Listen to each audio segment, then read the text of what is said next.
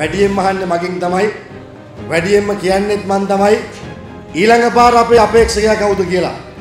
අපි තාමත් පැහැදිලිව බාහිර නැතුව කියනවා ශ්‍රී ලංකා නිදහස් පක්ෂයේ විදියට ඊළඟ පාරත් අපේක්ෂකයා වෙන කවුරුත් නෙමේ මෛත්‍රීපාල සිරිසේන මැතිතුමා කියන එක අපි තාමත් පැහැදිලිව කියනවා. නිකන් අපේක්ෂකයා විතරකුත් නෙමෙයි 2019 අග ඡන්දය ප්‍රකාශයට පත් කරලා 2020 මැතිවරණය තිබ්බට පස්සේ 20 ඉඳන් 25 වෙනකන් ජනාධිපති පුටුවේ වාඩි වෙන්නේ වෙන කවුරුත් නෙමේ ශ්‍රී ලංකා නිදහස් පක්ෂයේ සභාපති මෛත්‍රීපාල සිරිසේන මැතිතුමා කියන එක අපි තාමත් පැහැදිලිව කියනවා. අපි මේවා කියන්නේ නිකම්මත් නෙමේ. මොකද නිකන් කතා කිව්වට වැඩක් නැහැනේ. ක්‍රමයක් තියෙන්නත් ඕනේ. හැබැයි අපි ක්‍රමේ දැම්ම කියන්නේ නැහැ. අපි ක්‍රමේ විවෘත කරලා තියෙනවා.